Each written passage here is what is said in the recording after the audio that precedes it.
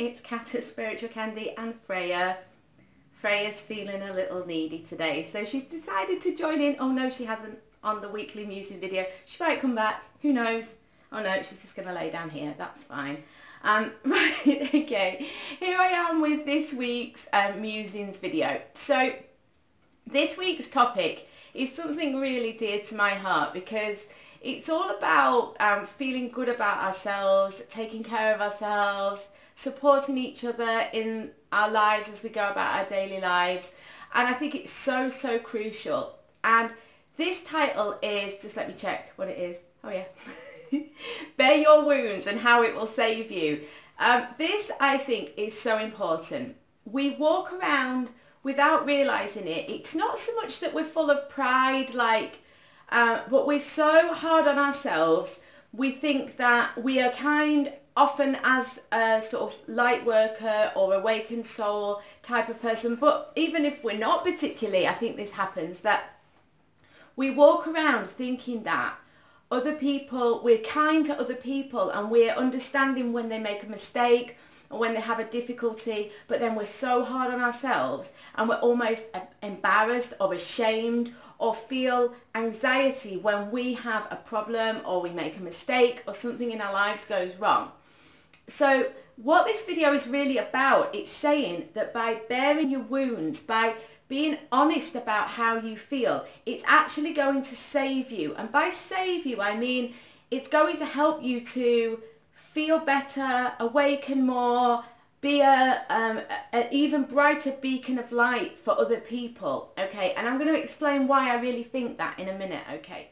Um, why I say that is, have you ever had that situation where something's happened to you or you're experiencing something and you don't tell anybody. So you're just kind of going about your life and you're thinking about it and then you just get to the end of your tether or you just feel like, you know, you maybe meet up with someone who you're really close to and it just comes like tumbling out. And the other person looks at you like, oh my God, that happened to me the other day or I know exactly how you feel. And how relieved do you feel and how um, sometimes really surprised you feel because you think, oh, I thought it was just me. Okay, so that's a really crucial thing to, to notice. So basically what I'm saying is it makes you feel better when you bare your wounds. It makes you feel better and you realize that actually every problem you have, every mistake you've made and everything about yourself that makes you feel like unworthy or like there's something wrong with you, somebody else, in fact hundreds of other people have felt the same way you know, or have had the same problem.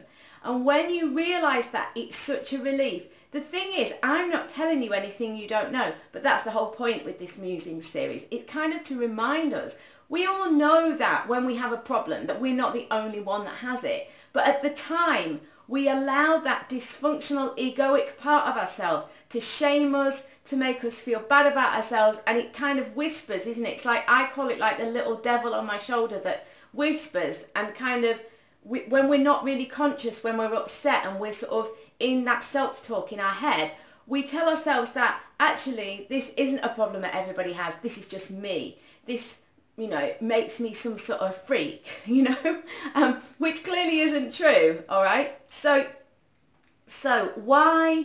Um, so it makes us feel, realize actually when we bare our wounds that it's totally normal you know, that what we are experiencing is just the same as hundreds, if not thousands, if not millions of, well, not necessarily millions of people, but, you know, thousands of people have felt this millions of times. You see what I mean? So, um, so anyway, the four things that I want to point out with this, why, just to sort of um, draw this together and to make it um, a little bit of a cohesive video. and a coherent video. Um, basically, that it's so important to, obviously you're not going to go around telling everybody and, and all of your problems and moaning and being really doom-like. That's not um, going to help you. Um, but sharing honestly and authentically who and what you are with people that you trust and people that you know care about you and you care about them is so, so crucial. because number one, it, it brings down inside of you this sense of separation. Now, we are a separate being. Now, I'm going to do a, um, a video on this at another time about the ego and this sense of separateness.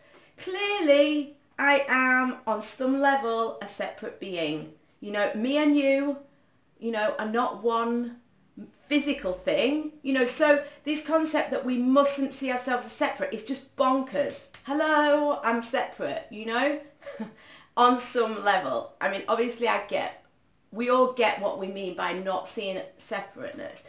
But so what I'm, all I'm just trying to say here is that, of course, we have separate bodies, we have certain separate identities, we all have our own unique light, we all have our own unique way of expressing ourselves in the world. But what I'm saying is this sense that of separateness in the isolation, it's the sense of separation in terms of being isolated that baring your wounds to um, the world, not um, being ashamed, not trying to hide who you really are, um, brings down this sense of isolation. It makes you appreciate and realize that you and I are the same, are made of the same stuff.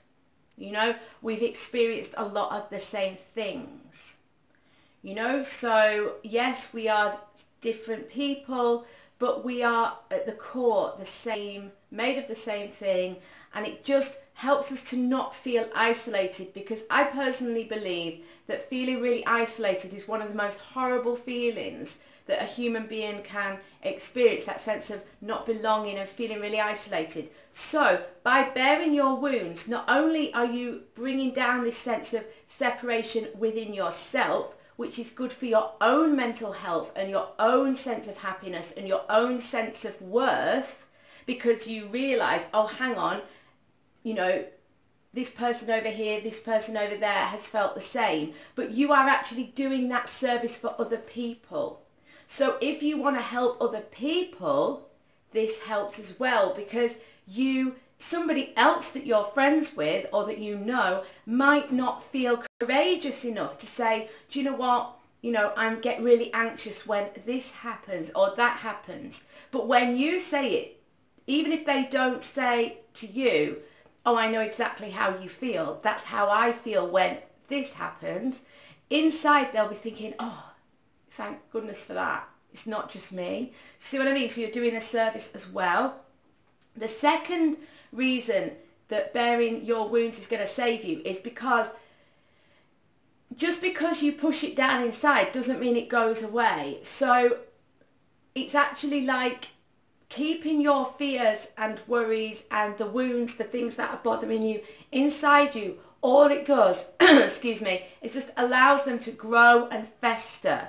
Okay, so um, it, it doesn't help. And also, just think about it from, if you imagine if you did this with a child, if a child goes to say something and you say, shh, don't tell anybody that. That sense of, oh no, no one wants to hear about that It gives you a sense that it's wrong. Understand that if you have something that's happened to you or you're experiencing something and you hide it from other people, whether you really think it's wrong or not, you're giving yourself the impression that what you're feeling is wrong. So you are not um, validating your own experiences. So that can make you um, feel uh, sad and it can feel quite confusing as well. So um, that's really important as well. It stops it from festering inside you. And the reality is that there's nothing you're feeling now that I haven't felt probably or that somebody else hasn't felt. You know, not every single person will have felt the problem that you're thinking about now that you've had at some point, but lots and lots of people will have. So there's no reason to keep it secret, you know, um, and it will um, the damage that it does by bringing it out into the open, which is none anyway, personally, that's what I believe, is so tiny, you know, it might just make someone go, oh, you know, if it's something quite um, upsetting or whatever, it might sort of surprise somebody or, um, or whatever, but it's such a small factor to consider when you think the relative the relative gain that you're going to get by being honest and authentic about you, yourself and your life okay? So the third thing I've kind of already said this but it connects you to others. You know the the bonkers thing about it is that we kind of go about don't we wanting to put on a good face wanting to um, not seem perfect, but I'm going to over exaggerate here and just say that, you know, we want to give this sort of like I'm all together image. But actually, think about that person that you know that really seems to be like, nothing bothers me, I'm brilliant at everything. You know, like this is not a person that is easy to connect to. This is not a person that you feel you can open up to or endear to. So actually, the thing that we're striving for actually creates a sense of distance between ourselves and that person. So it's not a good thing. You know, it, what connects us often is when we bring those barriers down and we're really real. You know, we're really authentic and we say, God, you know what, this just happened to me.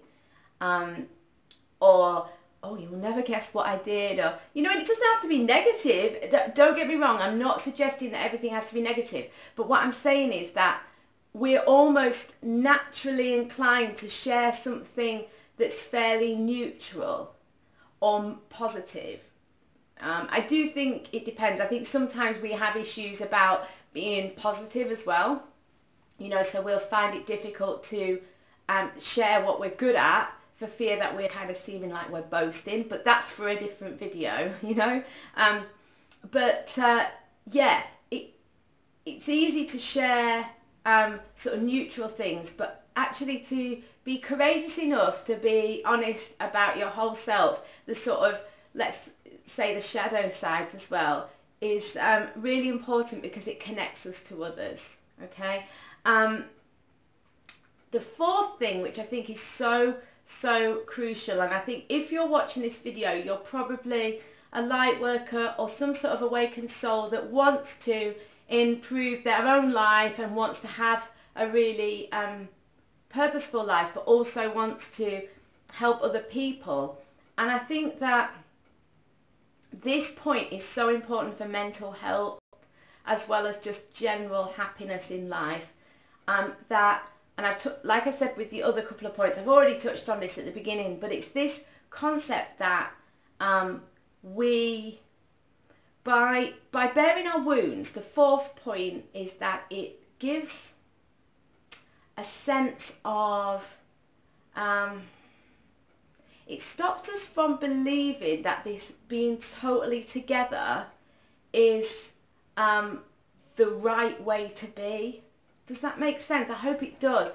We want to kind of get rid of this illusion that being strong, that being all together, that having this like shiny like front of a magazine cover look and attitude is um, strength and we need to try and dissolve the concept that having any sort of wounds, fears or mental issues is in some is somehow weak or that having strong emotions are weak. So that's why it's so important. We are light workers, we are awakened souls, and we have we have possibly the capacity and the consciousness, some of us, to excuse me, to actually um, bare those wounds and help other people to realize that it's okay. It's not weakness.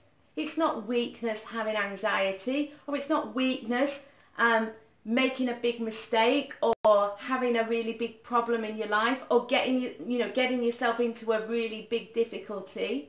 You know, it's not weakness. It's human.